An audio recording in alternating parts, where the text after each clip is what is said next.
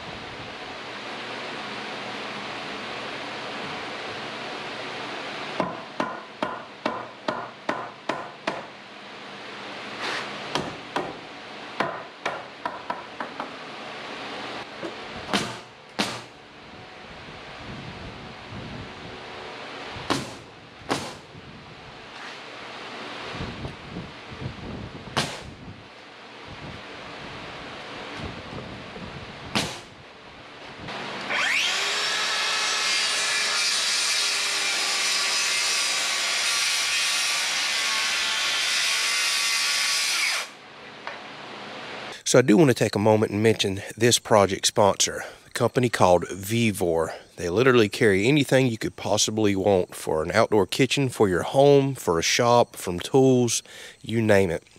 They donated all the door and drawer sets here that you're seeing for this particular build.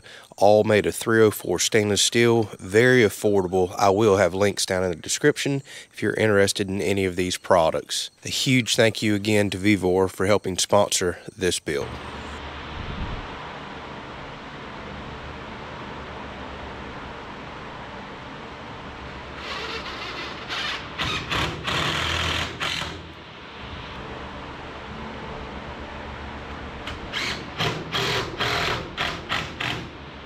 Okay, well, I've got everything done. As you can see, uh, well, I kind of made a couple of mistakes. Put the studs on the wrong side. Instead of ripping everything out, I scabbed some corner bracing in here. So that's why some of this stuff looks a little odd.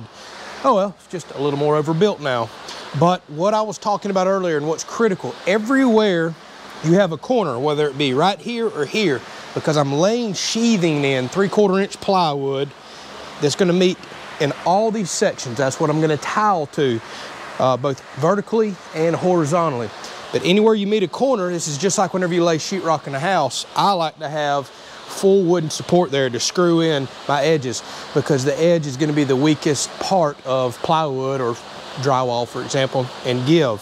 So I've worked extra hard here to make for sure that I can screw into at least a stud vertically and then have lips horizontally to screw down into. I just want to get some really good bracing for my plywood and then that's going to brace my cement board, tile backer board very well, and then ultimately the tile. It's just gonna make my tile job that much better. So the last area that I really need to focus on, this is too big of an opening. Even though I'm gonna lay plywood across this, it would have too much give in the middle. So every so often I wanna run some supports, just like I did right here, to really give uh, some support to that plywood that's going down. And like I said, it's just gonna make my tile job better. So that's what I'm about to work on right now. A few more supports around this way and we're done. Then we can pull all of the doors and drawers out because I already have them completely boxed in and we can start sheathing all of this. All right, so here is one of those situations that I always encourage people to do or to try. And let me tell you, it has probably saved me well into the six figures doing things myself, finding ways to save money, building this house over the last year. By the way, I'm about to release a full cost breakdown on the house. It's a lot of people watch the house building series. And uh, I'll kind of give you an idea of what we spent to build everything that you're seeing, including this outdoor kitchen. So I was in Lowe's the other day. I need two by twos, which is just your little squared off lumber, just stick lumber. Because this is what I was gonna screw around on the inside, make a lip all the way around and then drop my shelf down on top. Well, the two by lumber was like almost $6 for one little piece, just outrageous. So here's the thing, I could actually buy a two by four cheaper than a little two by two. And just by bringing my table saw out here and spending just a few minutes, every time I cut a two by four, I'm getting basically a free two by two. There's $5 in my pocket. And just, I mean, literally probably five minutes, I'm gonna spend more time talking than cutting. I'm probably gonna put about 20 bucks in my pocket. So things like that has saved me a ton of money. I can remember one situation where I was working on the house, trim's been outrageous thanks to COVID and lumber being through the roof. And I built my own quarter round trim. I think I had an hour to two hours in it. I, I can't remember the figures exactly, but I had tallied it all up. And I think it was like 75 to $100 an hour I paid myself or saved building my own trim. And it took me like two hours, but $100 an hour, that's good money. That's more money in my pocket or more money I can invest elsewhere on a project. So don't hesitate to do little odd things like this yourself. It saved me a ton of money along the way.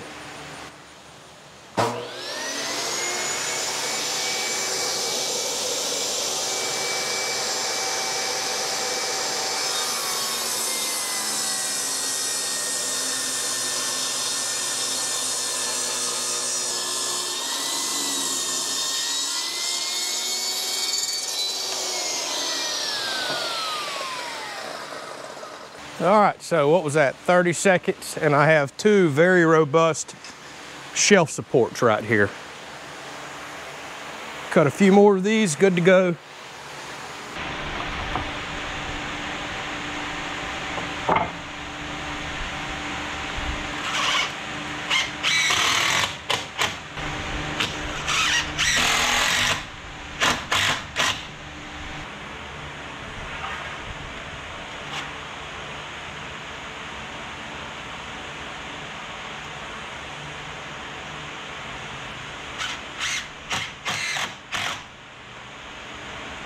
All right, so a lot of y'all have seen me use this on the channel before, but it's called the Kreg Rip Cut. And this literally just clamps onto the front of any circular saw with two screws here. And it's got a fully adjustable track right here to rip plywood up to in half, so 24 inches. And you can slide this track up and down. But this piece right here is designed to run on a straight edge of plywood You adjust this out to the length that you need to rip down. So it basically turns your circulating saw into a table saw. Now here's the thing, I have a table saw right there, but lifting up three quarter inch pressure treated plywood by myself, this stuff's extremely heavy. It's not happening. I'm not gonna be able to carry it over there and conveniently rip it down on the table saw. So this thing is really nice for long straight cuts, just like this.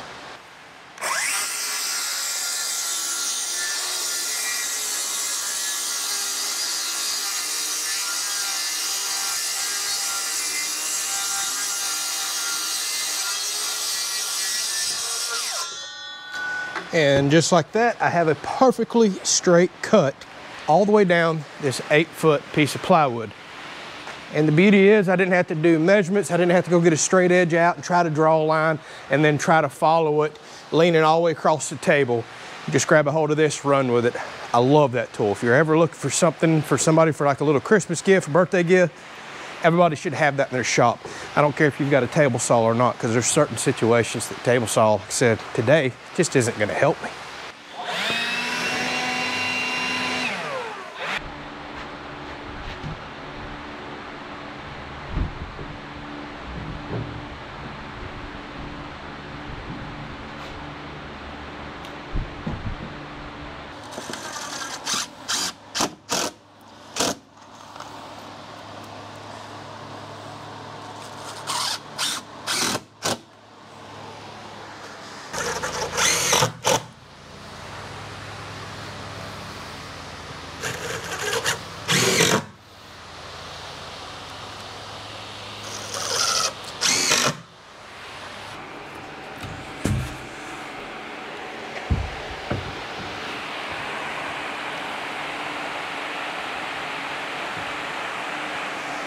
All right, so you can see that we decided to go with a grooved paneling. This is called a four inch on center paneling. And the reason we went with this, because it kind of mimics the look of the house, but not exactly. We wanted it to look a little different. We, we considered doing Hardie on this, and if we carried it uh, out here looking just like the house, we just kind of felt like it was it was gonna stand out and not look quite right. We wanted it to be similar, but a little different, if that makes sense. Now we're also going with a non-pressure treated paneling because, well, let's face it, nobody out there makes a grooved pressure treat paneling. And again, I'm highly concerned about plywood and paneling in the pressure treat form. It tends to dry warp, can delaminate, just kind of does whatever the heck it wants to. I'm not a big fan of it. Once we get a good coat or two of paint on this, I'm not concerned at all. You got to keep in mind all the wood out here on the porch, everything you're looking at other than the poles is non-pressure treated wood as well. As long as you paint it, it's good. I actually have a big deer blind that's been sitting out for a few years now in the woods with paneling similar to this with a good coat of paint on it. No rot, no issues, and it's been out there through every storm, tropical storms, hurricanes, everything you can think of. It gets wet all the time. So you really want to seal the wood good and do multiple coats of paint. We're not going to have a problem underneath here. Now to put all this on, I am using uh, my siding nailer, my Bostitch siding nail. It's a coil nailer. It shoots a small two and a half inch ring shank galvanized nail. Boy, when they go in, they stay in. Actually, this is the same gun I used to put all this Hardie trim on the house. It'll be perfect for this. And I've set the air pressure up on this to overdrive the nail just a little because I want to come back and fill all the nail holes with some wood putty, quickly sand them down my orbital sander, and then paint all this. That way you don't see any nail heads, nothing. I just ripped me down some half inch wood spacers that I have on the ground. Again, we want to space this paneling a half inch off the ground so air can get underneath because water's going to make its way underneath there between pressure washing and rain. And I want it to be able to flow in and out and air to get under there to dry this.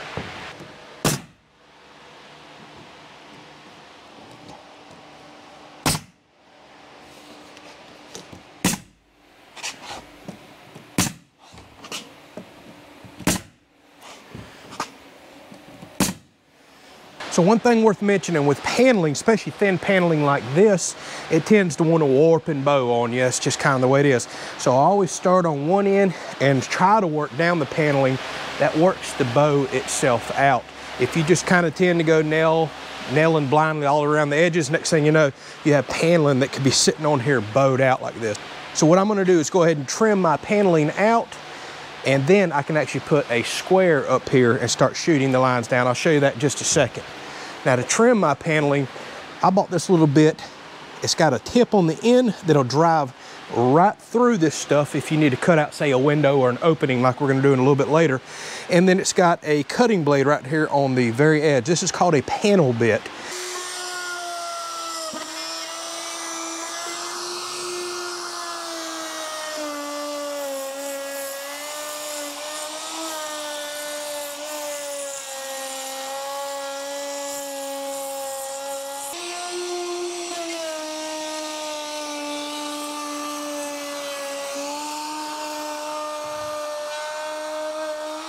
Now you'll find that due to the design of the router, you can't cut all the way through on stuff like this because the router's hitting the concrete or it's hitting the side of the wall. So you're left with two, three inches to cut. You can use a handsaw or one of my favorite tools, the oscillating tool here.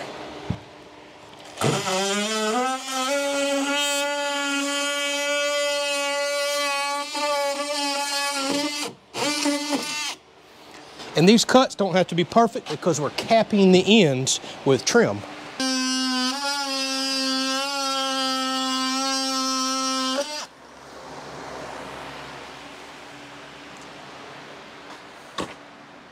So here's what makes things nice and easy. I have a stud right in here on the inside. At least I'm gonna keep calling it a stud right here, here. You can see them all the way down. You can see I have nail holes in the top, so now I already know where these are. So since I waited to nail all this out here, minus a couple nails to again take that bow out of it, I wanted to trim this off first because now I can just come back with my square and draw a line straight up and down where these nail holes are. Now I know right where all the studs are. I can knock this out really quickly.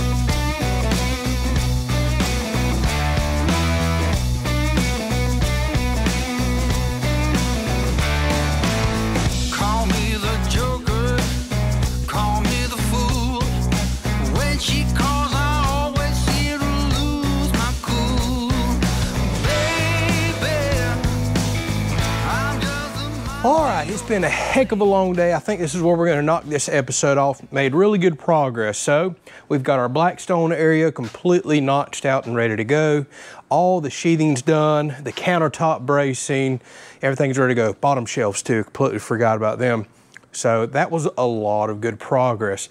So what we're gonna do in the next episode is go ahead and get the plywood on for the countertops, basically just start prepping everything for the countertops, and we may go ahead and install those in the next episode as well. I'll see how long that time's out, as well as we'll have to go ahead and set up our bar top.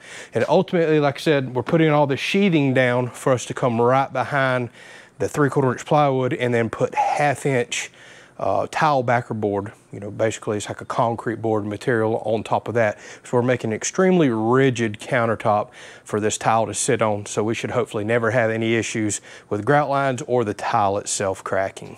To all my daily viewers that constantly watch the videos as they come out, thank you. And just want to let you know, it's probably going to be at least another week before we get part three out on the outdoor kitchen build.